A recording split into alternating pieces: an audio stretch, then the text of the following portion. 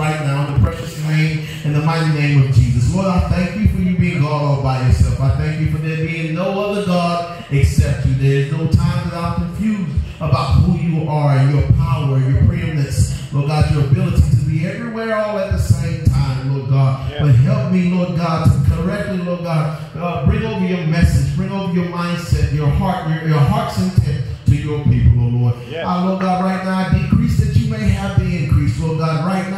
know, Lord God, that I am still a work in progress. And I thank you, Lord God. Forgive me of my sins. Forgive me of my shortcomings, yes. Lord God. In the name of Jesus, I press toward the mark of the prize of the high calling which is in you, Christ Jesus. And Lord, I love you. I magnify you today. I exalt you today. I thank you for just being God and uh, being matchless and and Lord God, that there's none like you, Lord God. And I love serving you. I magnify you. Now, uh, allow me to. Give me the decrease that you may be increased in my life today. In the next, Lord God, time as I'm speaking, Lord, help me, Lord God, to think of the right things to say, to hear from you, Lord God, whether it be in the prophetic or in the natural, whether I'm teaching or prophesying, preaching or teaching, Lord God, help me to be instant in season and out of season. Lord, I thank you, I love you, and I magnify you. In Jesus' name, amen. amen. I bring you greetings from Houston, Texas, I'll say even more specifically from Crosby, Texas. I live in a small town. We got about 30,000 people over there. And uh, we, we're right outside the city, and I bring you greetings now. And I want to tell you again, and I said last night, um, first of all, I'd like to give honor to God, who's definitely the head of my life. And I can't say I'm always perfect, uh, I'm, I'm, perfect or right. What I can say is He is the head of my life. Glory. And because of that, He can chasten me when I'm out of line. He can get me back in line. And if I, if we can continue to do that and allow ourselves to be chastened by the Father, yeah. and see, uh, then we can get back in line and stay right with the Father. And, well, you say, well, the Father, we in the apostolic church, we're oneness. So why do you say the Father when we always say Jesus? Yeah. I will tell you, saints of God, that He's Father in creation, Son in redemption, and He's the Holy Ghost in regeneration. This is the God I serve. There's not three, there's one, but He played those roles toward you and me. Glory. He played those roles in humanity. Don't be perplexed when somebody tells you, well, he's just the son, or Jesus was the son, or just the son, and, and God was separate, and God was separate from Jesus, and Jesus was separate from the Holy Ghost. The devil is a liar. Okay, all three were one, or are one. So I want to tell you again greetings from Crosby, Texas, and uh, where um, I live in Houston, Texas, and I fellowship in Houston. And my wife uh, wanted to be here. She wanted to be here last night. She wanted to be here this morning and enjoy this trip with me. but it didn't happen. But this won't be our last time here. And I'm going to just ask my brother to have me back soon as you can. Let's do a revival. Let's tell the city. Let's invite folks out, and I'm going to be ready for whatever day you tell me. Let's get the folks in here because Christendom is suffering. And this man of God has a taught word in his belly. He studies, he corrects. Watch this, he corrects himself. My God. See, that's the heart of a pastor when he can do that. I'm, I'm going to move past that. But I want to correctly exegete some things that I said last night so you could understand where I was coming from. I, uh, I felt like I really did not explain something uh, well and may have lost some of you last night when I said that God, as Jesus Christ, as he stood on, he was on the cross that he said to the people, he said to, to God rather, and he spoke to God, he was on the cross, and when right before he died, the world went dark. And uh, again, this is not something that you're just going to see. You're going to have to, the Bible tells us that we got to go line upon line and precept upon precept, here a little and there a little. The issue is, is that we have to go and correctly line up the Word of God. Mm. This book, there are 783,173 words, 31,102 verses, 1,189 chapters, 66 books, two testaments, Yes. and one Bible. My, my, my, my, my. Can I, can I say that again to you? Yes. Uh, there's 783,173 words, 31,102 verses, 1,189 chapters, 66 books, and one Bible. Two testaments. Two testaments, one Bible, Amen. which are the words to live by. Glory. We cannot go outside of these six. Y'all, this is in my notes. we cannot go outside of this to find life. Mm. You might be able to go outside of this to study, Mhm. but you don't find life outside of this book. Oh my God. You may go outside of this to shine a light on something that you may know or something that you may study. But this is the book of life. Okay. All right. Isaiah 28 and 10 lets us know that these things should be line upon line, precept upon precept, precept upon precept, line upon line, line upon line, here a little and there a little. So we are challenged to do some certain things. We're challenged to do some things that the Word of God wants us to do. The scripture in Second Corinthians tells us that out of the mouth of two or three witnesses, let every word be established. It's Amen. in my notes. Amen. It is the book. I'm teaching the book already. Uh, and so, out of the mouth of two or three witnesses, which is where our legal system gets its origin, is out of this book, right? Which becomes the foundation of everything legal. 783,173 words that God put together just for us. Glory. I'm, I'm, I'm getting somewhere. Glory. Uh, so we've got to understand that out of of two or three witnesses, let every word be established. In other words, you have to see it more than one place in the Bible to create a theology Yeah. to teach or preach to anybody. I'm, I'm in my notes right now. I'm in Amen. the book, though. I'm in the book. Before you can teach have to line it up. Line upon line, precept upon precept. Uh, and out of the mouth of two or three witnesses, you need the witnesses to confirm what you're thinking because our mind will run away with us when we get exposed Yeah. to things that we have no need to get exposed to. He combined it in one book for us. He, put it in one place, and in one, and, he put it in one binder. But there's 66 books, uh, so we have to understand that there are different classes of angels as we go on to explain and expound on last night a little bit.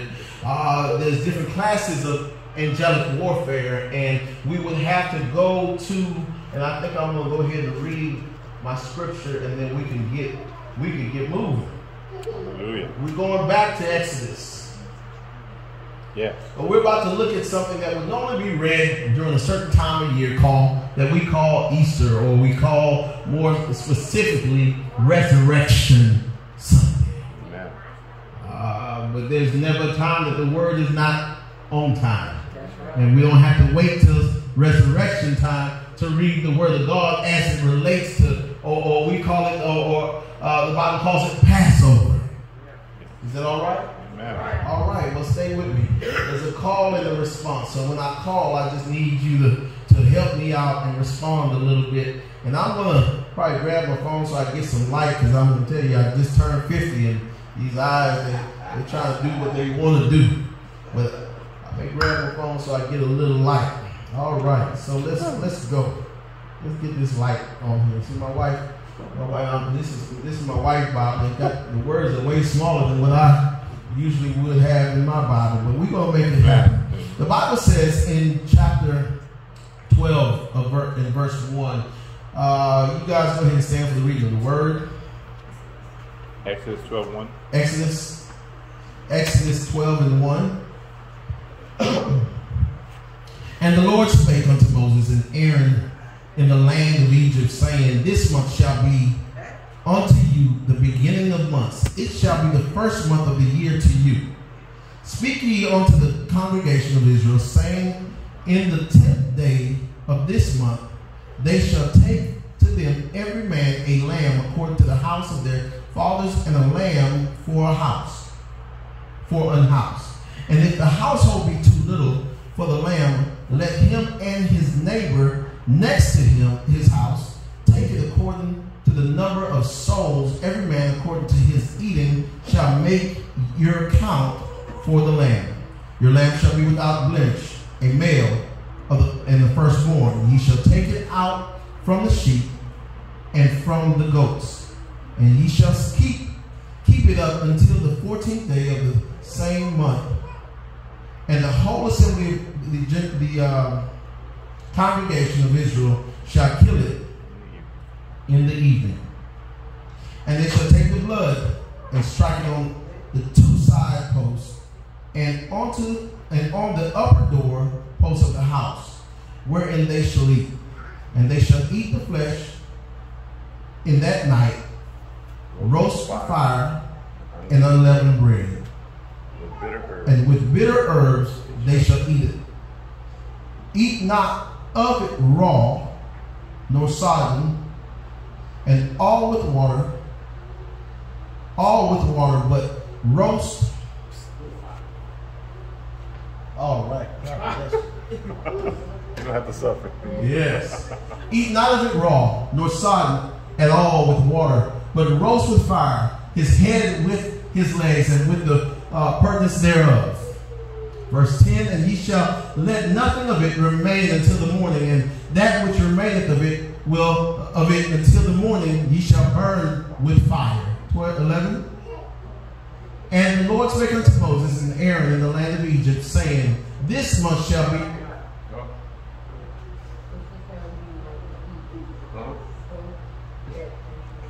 All right.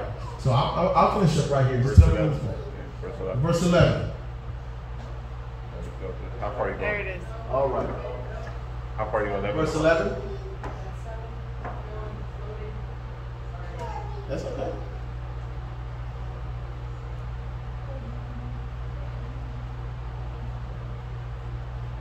Oh, wow. Where you find that picture at? That was actually last night. That was last night. Yeah, go ahead and read your Bible. Here. So, You want somebody to read 11 for you? yeah, if somebody. Anybody got that'd be 11? good eyes? This is how you are to eat it. With your cloak tucked into your belt, your sandals on your feet, and your staff in your hand. Eat it in haste. It is the Lord's Passover. 12. On the same day, I will pass through Egypt and strike down every firstborn, both man and animal, and I will bring judgment on all the gods. I am the Lord. 13 and 14. It's up there now. And the blood shall be to you for a token upon the house where ye are. And when I see the blood, I will pass over you. And the plague shall not be upon you to destroy you when I smite the land of Egypt. 14. And this day shall be unto you for a memorial. And ye shall keep it a feast to the Lord throughout your generations. Ye shall keep it a feast by an ordinance forever. Amen. You may have your seats in the presence of the Lord. So we're about to talk about the fact that the Passover. Well, first let me say this: you cannot separate the thought from the thinker. Come on, let's preach. Yes, yes. You, there's no separation of thought from the thinker. You, you can't separate God from His Word. Neither can I separate you from the things that you say. I don't know if you heard me, but you cannot separate the thought from the thinker. Hallelujah. My God, hallelujah. I feel like preaching now. Amen. The devil had his way, but Satan, we rebuke you in the name of Jesus, you have no power in this place. We command you Hallelujah. to In the name of Jesus, you're not going to hinder God's word, stop God's word, or, or, or, in, or in any way cause a distraction Yeah. of God's word. We love you, Lord. We magnify and we thank you right now for you being God all by yourself. We'll take this time to rebuke Satan and let him know that we are under Yeah. the blood. Yeah. Now, my Yeah. God. I, I feel like preaching right. now. Right. Okay, amen. I feel my, my help coming on. Uh, can I get an E flat? Mm. Amen. So you cannot separate uh, the thought from the thinker. There's angels and principalities, powers, spiritual witness. You have a set, S-E-C-T, of angels that deal with us. We have celestial angels. We have telestial angels. We have different denominations or different sections or, or, or powers or abilities of angels. And we have the telestial side, which is now the, the humanistic side, where we have the angel of this house who uh, is the pastor, the angels in this house as well. The Bible says in, in Psalms, it says that you made man a little lower than the angels. So uh, we're talking about now that was pointing toward the celestial.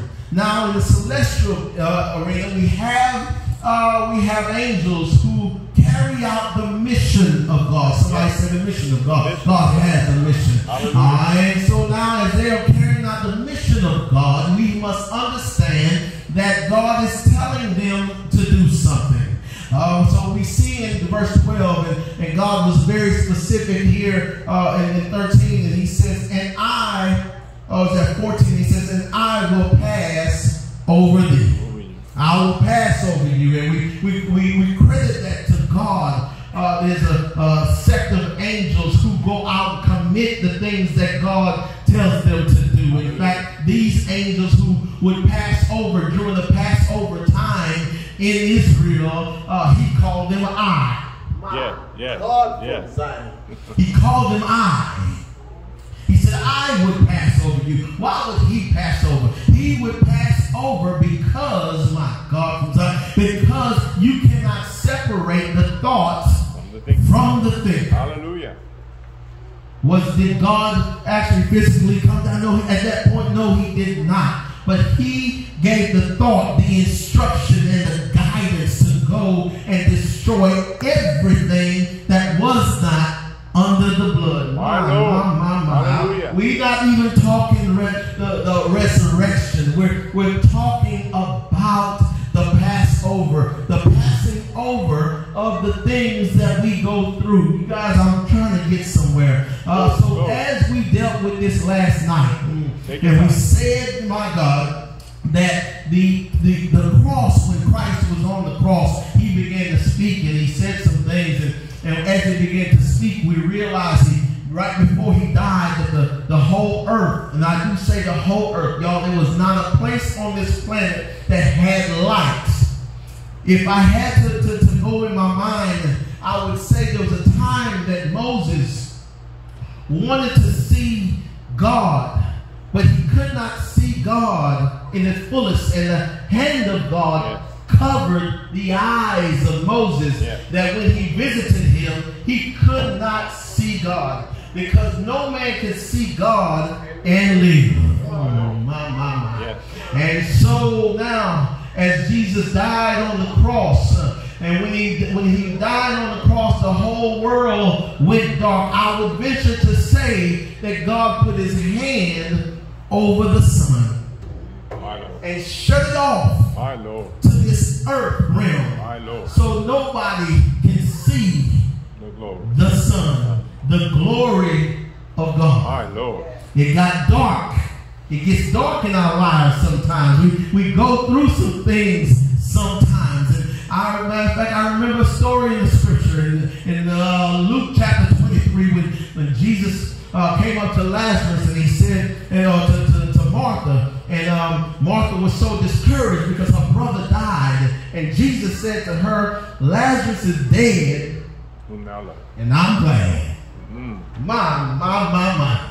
He said he's dead, but I'm glad. I'm glad you're going through what you're going through. I'm glad that some situations are pushing you to a place where you need to go. I'm glad that you're going through today or yesterday and you're looking for me to get you out of a situation. But I'm glad you came to me. The reality is, yes. to God, when we're going through, we got to come to Him yes. so He can get us out of the situation that He in. He said this word, I am the way.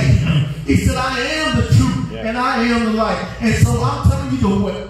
The way, it is a door that God has given us. He being Jesus Christ. It is a passageway. And if you look at it, you have to go back to the tabernacle and see that the door of the tabernacle was called the way. I'm talking about from Exodus. He was giving us a way out. Glory. Not only was it a way in, but it was also a way out of our situation, a way out of our hardness, a way out of our sin, a way out of our trials and our tribulation. This is the God that we serve. And so now we see where God is here saying that this generation or sect of angels were given a mission to go and destroy everything that did not have the blood on the doorpost. And he said, well, I'll probably tell you my scripture or, or tell you my topic. If I had to preach from a topic today, the topic would be my eternity is connected to my yes, Lord. My Lord. My eternity yes, Lord. is connected to my yes, yes Lord. Lord. Ah, you got to understand today that you got to have a yes, Lord, somewhere down in your sanctified soul. Somewhere down on your inside, you got to have a yes, Lord. I know that God that sometimes it's getting harder. Sometimes I may turn my back on you or feel like you don't exist, but my eternity is connected to my yes, Lord. I told the angel to go down there and destroy everything. He even called the angel I. Why? Because you cannot separate the thought from the thinker. And because we can't separate the thought from the thinker, everything that you are going through, you're going through because God allowed it way. My God, He gave you a way out. Not only did He allow you to go in, but the God that we serve is going to allow you to come out. You just got to stand still and see the salvation of the Lord. You can't be playing with God. You can't run in and out of the church. God is not pleased. God wants you to come in the way and stay in and under the blood. Somebody give God some praise you, Lord. My eternity is connected to my yes, Lord. Yes, Lord. The problem is we're not saying yes enough. When God gives us instructions, we don't say yes. Mm. Our demeanor outside may say yes, but inside we say, no, God, not me. No, I can't go here. No, I can't do this. No, I'm not going to do it. Because our poise is walking in the other direction from our yes. Yes. Glory. So now he allowed these angels to go forward. And as these angels went forward under the, under the instruction, or this angel went forward under the instruction of God, we see that a lot of Egypt was destroyed. Because who was saved were those who were under the blood. Now we get back to the cross as it went dark. As it went dark, we have to see that God allowed the whole world to go dark so that we may have our time reset. Glory. So now your time becomes, and time is one of the most important things to God, is why he can sit outside of eternal, he can sit in eternity and deal with us inside of time. Yes. Because now he can control your going out or help you control your going out and you're coming in from this time forth and even forevermore, which is a description of time in and of itself, or even a description of no time. I want you to understand, saints of God, that our reality as we deal with God, as we deal with these scriptures, especially from last night, I just wanted you to understand that uh, we are not without help. Yes. And God sat on the cross, and I know I'm speaking specifically that God sat on the cross in the form of Jesus Christ. And when he passed away, or right before it went dark, you guys, I want you to understand today that you have got to forgive. That the only way that you can make it to heaven is to go through forgiveness. If I had to preach on a subtopic today, it would be I just want to go to heaven. Yes. So is there a place? Is there a person that doesn't want to go to heaven who's coming to church? We all want to go to heaven. I think I said it last night, but nobody wants to die. Mm. But we got forgiveness is the way to get to glory. Glory. Y'all, I don't even think I'm gonna be preaching hard. I think I may this may just be a teach today. Man. I got the spirit of Carl Levins on. so forgiveness is what we need to get to glory. You can't go on to glory without forgiving. You say, well, you're talking about the person. I'm the person who was affected. What about the person who committed the issue toward me? Yes. Yes. I'm not dealing with that person today. The word deals with them every day. Yes. We know sin is not going to inherit the kingdom of God. That's not going to happen. But the issue is what happened when the saint of God My Lord. gets come against. And now we have a responsibility to forgive the ones who despitefully use us. Yes. God gave us new time, and we have to replicate what God did in giving new time. We have to give somebody else new time. New time. Yes.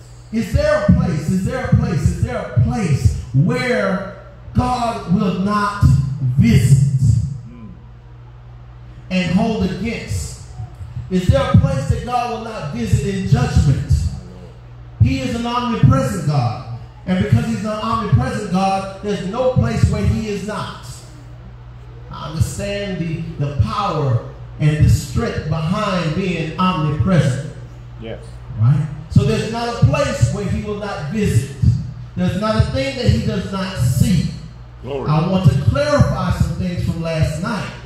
There's not a place he will not visit. There's not a thing that he cannot see. And because that being the case, when we commit sin, or when somebody is, or when we forgive somebody else, we have given them new time. And now there is a place that he will not visit in judgment. Yes. There's a place that he will not go to in judgment. Yes. And I'm telling you what we have to do as saints of Is to get in a place where we cannot be judged or it cannot be held against us the things that we ourselves do, whether it is sin or murder or uh, adultery, fornication, any one of those sins, whether it's stealing, picking up something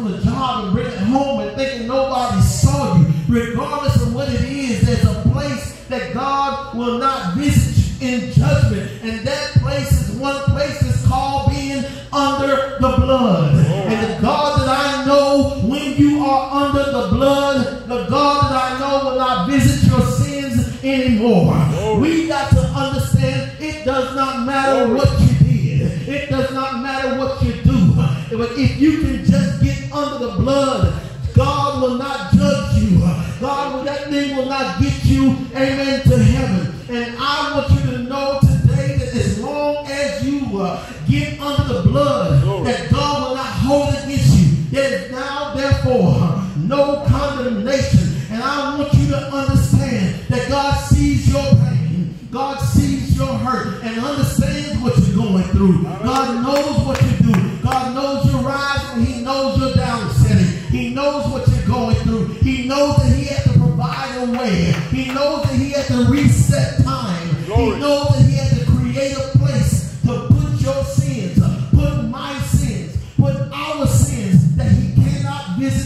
anymore. Why? Because the angelic realm yes. that he was speaking to, what they saw was God. What they saw was the blood of God, the blood of Jesus Christ. And they knew that there was nothing more powerful, my God, hallelujah, than the blood of Jesus Christ. And this would be a place where they couldn't visit. And when you get under the blood, it's irrelevant what you've done in the past. It's irrelevant what you irrelevant what you've done to your husband or your wife.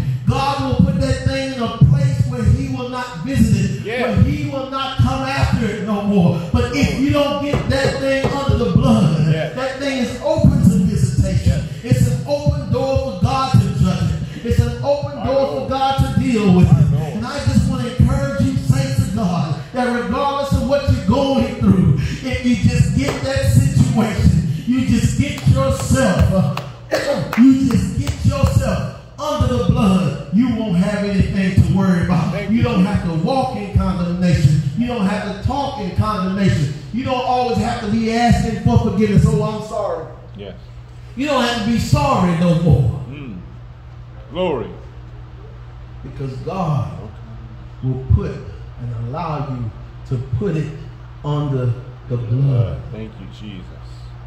There's nothing more powerful than the blood. My Lord. And if you can get that situation under the blood, you will see that there's nothing that you can do to that situation other than leaving it there and letting God deal with it so he can pass over it. We have a past. We wasn't always saved. You wasn't always in church. You wasn't always uh, speaking in tongues. You weren't always praying. You have some things that you got to get put under the blood. My eternity is connected to my yes, Lord.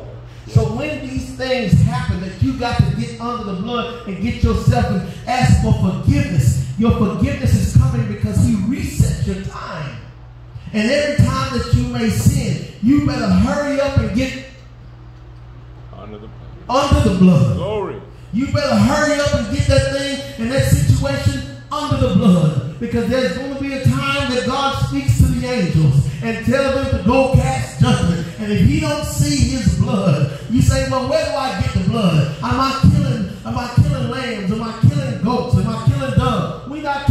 of that. But the reality is you have to be baptized in the name of Jesus Christ for the remission of your sins and you shall receive the Holy Ghost. The word still works, and the word will do the work. And this is how you get under the blood. Yeah. When Jesus Christ was pierced inside, that blood came streaming down. It had to land somewhere. It had to go somewhere. So what it did,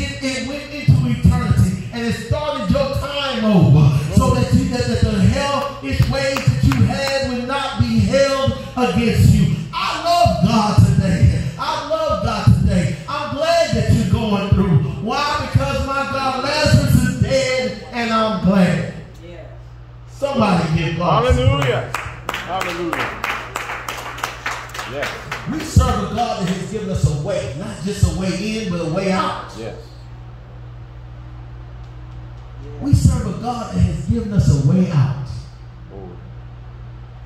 We have to understand that the reality about life is, is such as this is that we are going to fall into different things and, and we're going to have to stand up and as soon as we find out that we're a certain place because we have a God conscience.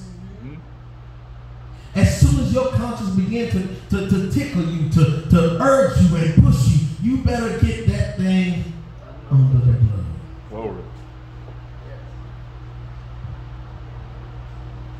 Love the Lord today, and I'm not going to be before you long. I'm, I'm about done, actually. All right. I'm about done. Y'all know I go for three, four hours. You're gonna make me look bad. You supposed to make them appreciate me. We got to get under the son. Yes. Everything that we do, if it's not pleasing to God, Jesus. it has got to get Under the blood. under the blood. Because God will not speak, stop speaking to his eye. God will not stop speaking to his angels. And he's not going to stop sending his word out because you cannot separate the thought from the thinker. Hallelujah. if you ever want to know when you're in a situation and you're God conscious, and matter of fact, I'll say this, and I'll not even use the God conscious wording. I will say that the Holy Ghost begins to unction you Yes. that hey, I got to get some things right. You don't have to go tell on yourself. Just go get it right. under the blood. I'm laughing because it's just that easy. Get before God and get it under the blood. Seek your forgiveness. Thank you. Turn from your wicked ways. Whatever way it is, turn from that way. It may not be wicked in the sense of the, the, the how we all often associate that word. But when you know there's something that you have to get right, hurry up and get it right so it can be under the blood. When you were baptized in Jesus' name, the blood was applied in your life. You were being baptized unto his blood. Yes, yes, yes. Thank you, Jesus. But when you step out from under the blood and do whatever you may do, and then come try to hide, it's still out there exposed. Oh, I know. It's got to get under. You got to get that thing under the blood. You've got to seek forgiveness. The reality about forgiveness is like we talked about last night. You have got to be able to, somebody else outside of that time has got to be able to reach out and get you and say, okay, I know you offended me. I know you offended that I offended you or whatever the situation might be. But I'm going to reach outside of my space because I did nothing to you. First, I had to forgive, and now I can help you because the reality is, is I need to help you get outside that time because I may have had something to do with you being inside that. My God, hallelujah, being inside that time. And if I helped you get there, I ought to be able to help you get out from there. And the only way I can help you get out from that time is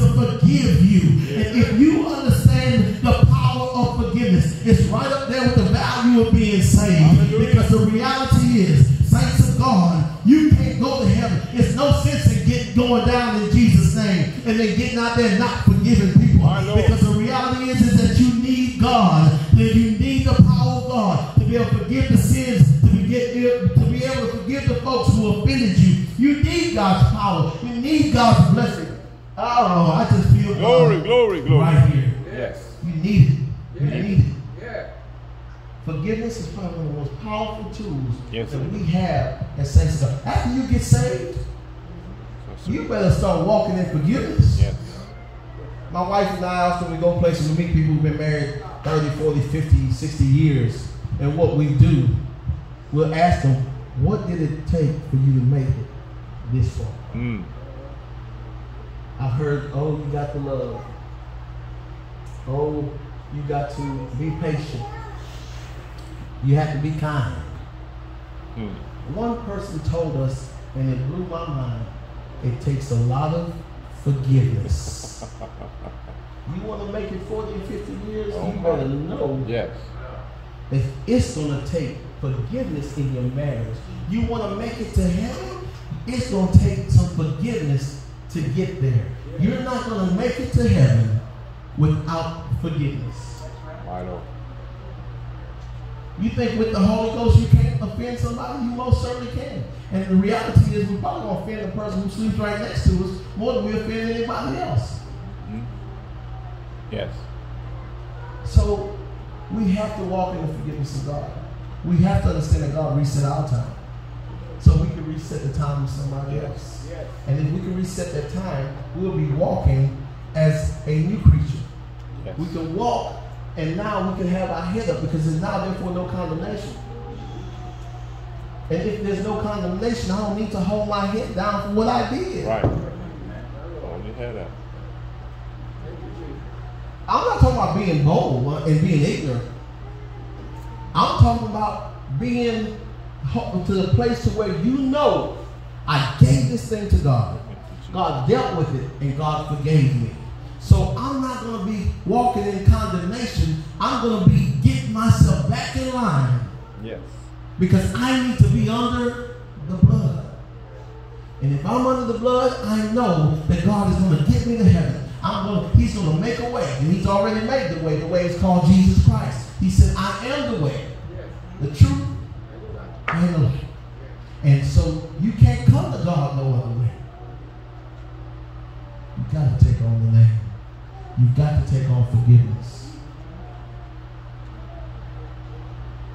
I was able to teach today a little bit. Amen. I would have loved to have preached, but that wasn't what God put in my spirit as I as I got here today. I want you to know that you are dear, dear soul Thank you, Jesus. to God. Yes. And anything you go through, anything that you commit, and that's why we pray the prayer. And I think my brother prayed it earlier, Minister prayed it earlier. Forgive those who trespass against me. Mm. Yes. The scripture is clear on that. We have to forgive those who trespass against us. Because guess what? You're going to need that same forgiveness from them. Yes. You've got to be pulled out of time, out of that time, that space, that energy, that situation. In order to get to a new situation, you've got to be delivered out of an old Yeah. situation. Yeah. You cannot move forward without the forgiveness that you really need because what happens is as you are committing that crime, committing that murder, I'll use murder today. It's a place that God can visit Because He is an eternal God. He's an omnipresent God. And He was right there when it was done. Yes. And you didn't get caught. You ran into somebody and killed them. Mm. And you was able to get home and get your car fixed. And you didn't get caught. Mm. Guilty if we were in court as charged. But you didn't get caught. And you've been walking around with that burden of whatever sin that you committed. Whatever it was. It is going to take a just God who has created a situation just for you.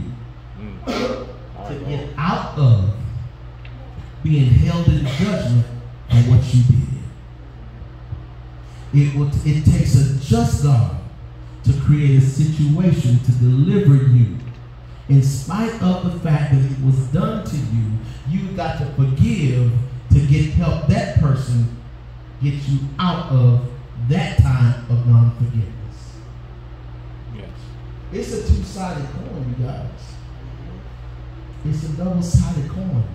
And it's going to take us understand that we have a God who has given us the blood Yes. Yes. as a way out when we're going through, when we fall short, when we're not uh, living up to his expectation.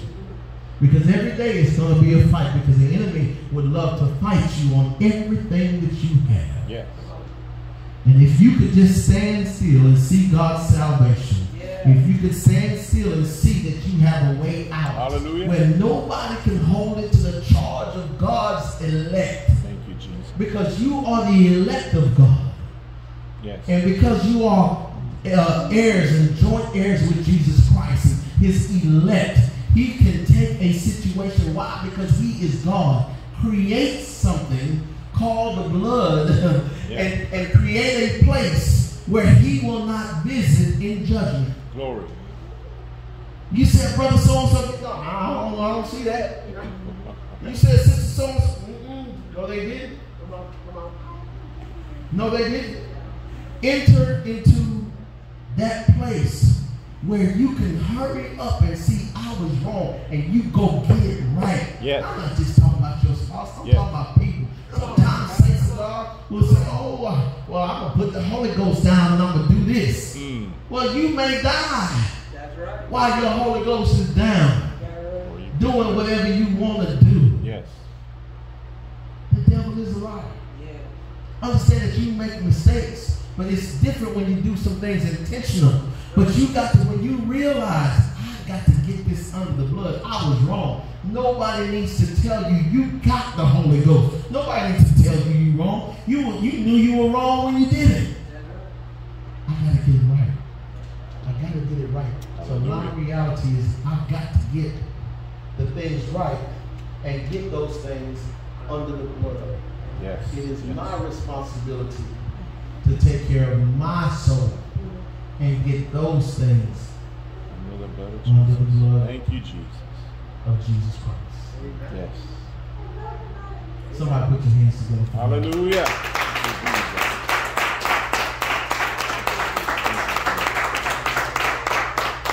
If to get your things under the blood, the altar is open. Thank you, Jesus. It is, I, nobody's gonna ask you whether you get under the blood. Nobody cares. I don't care. And God said He ain't visiting. Why I want to visit? Visit. Thank you, Jesus. But I want to admonish you that you should get want to hurry up and get any and everything that you doing that you need to get right with God. Hurry up and get it under the blood. Come on, come on, stand. Thank Everybody Jesus. stand all over the building. You, The altar's open. If you want to come up here and get anything right with God, you. this is the time. I'll pray with you. I'll be with you in the understanding of whatever is going on, whatever you with. You don't even have to mention it. We talking about, here you go, Doc. I brought this today for, for a reason.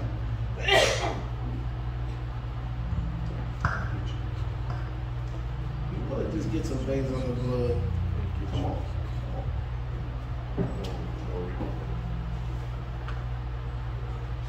Just want to get it under the blood. Don't need no explanation. We don't need no talking. We just need a word. We just need a place to put it.